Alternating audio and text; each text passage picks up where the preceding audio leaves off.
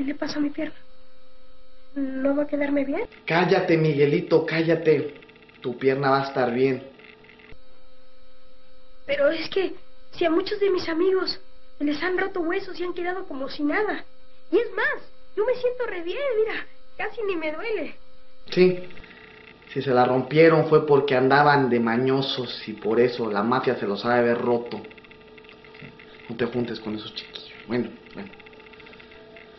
El problema aquí es lo siguiente, Miguelito, no eres tú, es tu papá. Te voy a contar una historia. ¿Qué prefieres?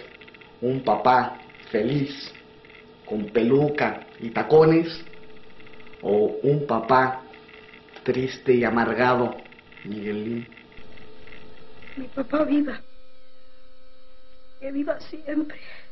Pues resulta que... Presiona aquí si quieres que el doctor le diga tu papá es tu mamá porque orina sentado. Presiona aquí si quieres que un pollo le dé la noticia.